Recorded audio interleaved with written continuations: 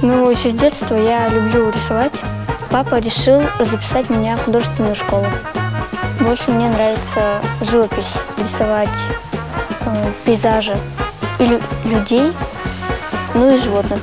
Пейзажи мне нравится рисовать, потому что я люблю природу. Я хочу передать настроение. Если даже у меня настроение, у самой у меня настроение, ну, такое плохое, и, допустим, я его передаю и этому лесу, который рисую. То есть лес у меня получается тоже, ну, не, не веселый, грустный. Эта работа называется «Полярная станция». Я ее нарисовала недавно. И я решила нарисовать эту группу людей с российским флагом и их палатками на фоне антарктической пустыни.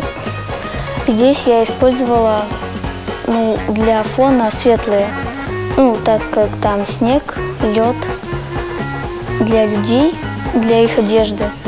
И для хижин я попыталась использовать темные, чтобы вы- выделить их на светлом фоне. Они все вместе, и у них получилось, и они довольны своей работой. Ну, они веселые, довольные.